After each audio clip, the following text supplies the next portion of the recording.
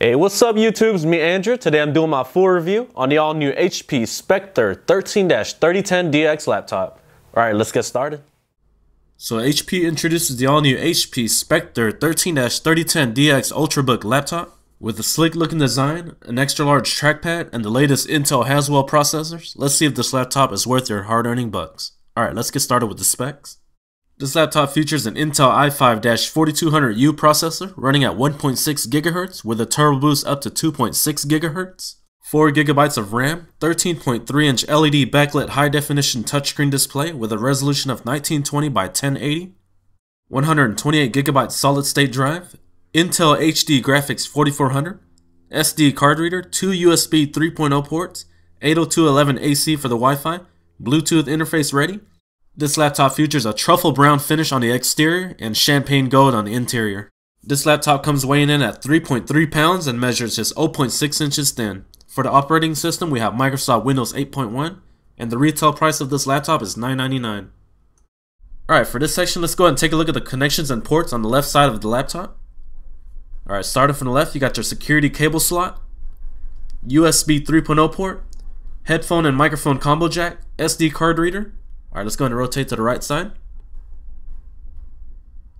Alright, starting from the right side, you got your AC charging port, HDMI output, mini display port, and a USB 3.0 port. Alright, for this section, let's test out the boot up speed on the 128GB solid state drive. Alright, here we go. HP logo. Logging in now.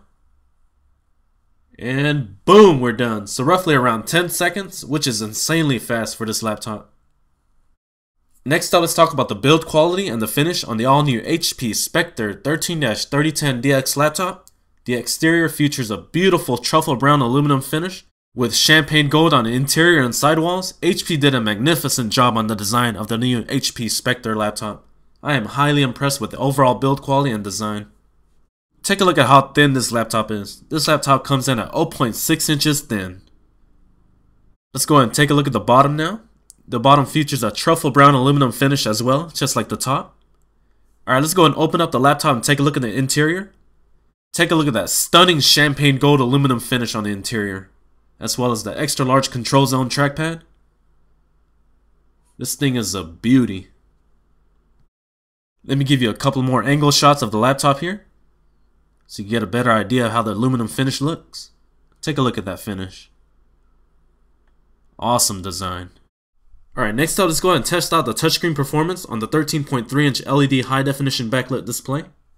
Let me go ahead and launch Internet Explorer. Here we got MSN website here. Let me go ahead and scroll down. It's been pretty smooth and accurate so far. Let me go ahead and try to do the multi-zoom here. Very smooth. Check that out. Overall, I've been highly satisfied with the touchscreen on this panel. Next up, let's talk about the gorgeous 1920 by 1080p display. Text and images look sharp and crisp. Only cons was the brightness level was not as bright as I would like it to be. Alright, let's go ahead and test out the viewing angles here on the HP Spectre laptop. Starting to blur out a little bit. Overall, the viewing angles were decent on this panel. Nothing spectacular, however, it should get the job done. Alright, let's go ahead and rotate to the left side now and test it out as well. There we go. There goes the blur. Alright, let's go and rotate the laptop back to the center and test out the display by tilting the display down. Alright, here we go. Overall, still crisp and clear with this angle right here. So this is highly acceptable when tilting it down. This section I'd like to demonstrate the all-new control zone trackpad. On the left side, you got your left control zone, and on the right, you got your right control zone. Alright, let's get started. Here you got your right. Let me go ahead and click down. Here you can access the start menu to search by just scrolling up and down on the right control zone. You can click on it as well. Let me go and exit right here. Let's go and test out the left side now. Let me click on it. There you can show up your multitasking bar and navigate through the one you'd like to see. There we got the Bing Sports. Let me go ahead and launch up multitasking bar again. Let's go and check the weather. There we go. Launch it again. And there we have Bing Finance. And we can scroll all the way down and access the start menu. After using Control Zone for the past week, it has made the Windows 8 experience much more exciting and easier to navigate. Next up, let's take a look at some of the preloaded apps that HP included this laptop with. The good thing here is there's not too much bloatware. Here you got a free box account with 50 gigabytes of online storage, McAfee Central, HP File Viewer, HP Connected Music and Photo, and the home run hitter here is the free Adobe Photoshop Lightroom 5 64-bit version. This program normally retails for $149.99. Thanks, HP.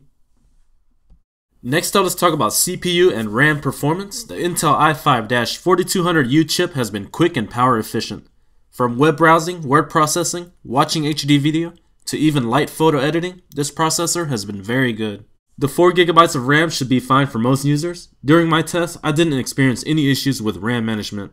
However, keep in mind the RAM is not upgradable. Next up, let's take a look at some Geekbench 3 performance scores. This is a 64-bit version.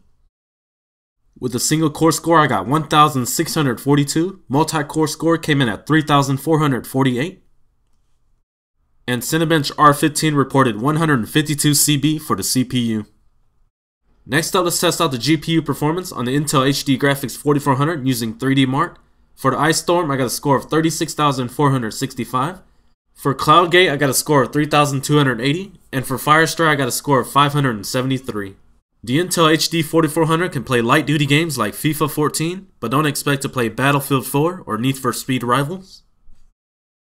Next up, let's test out the 128GB solid state drive using Crystal Disk Mark. On the read speed, I was able to get around 487.9 megabytes a second, and the write speeds came in at 327.1 megabytes a second. With these kind of speeds, everything was very fast and efficient. Keyboard performance was good, just wish there was a little more key travel between the keys. Other than that, HP did a good job with the layout of the keyboard. Trackpad performance has been very good as well. From multi-touch gestures to two-finger scrolling, everything has been smooth and excellent. Combine that with all new left and right control zones, you've got yourself a feature-packed trackpad that will make Windows 8 more accepting to use. Next up, let's go and open up this laptop on the bottom and take a look and see what we have underneath.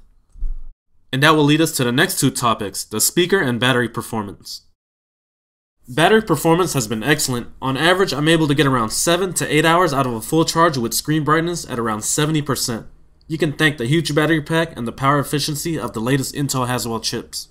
Next up, let's talk about speaker performance. The Beats audio speakers on this laptop is surprisingly very good considering its size and the way they are placed on the laptop.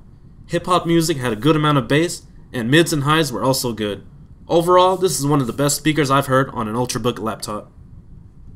If you're looking for the ultimate Ultrabook laptop that has one of the best designs and build quality on the market, then look no further than the all-new HP Spectre 13-3010DX laptop.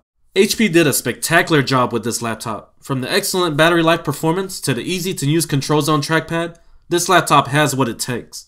My only issues with this laptop was the bottom aluminum finish did get occasionally very warm depending on my usage, and the top truffle brown aluminum finish on top is a fingerprint magnet.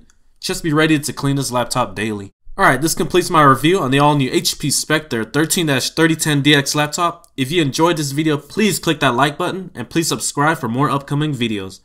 Alright, thanks for watching guys. Peace.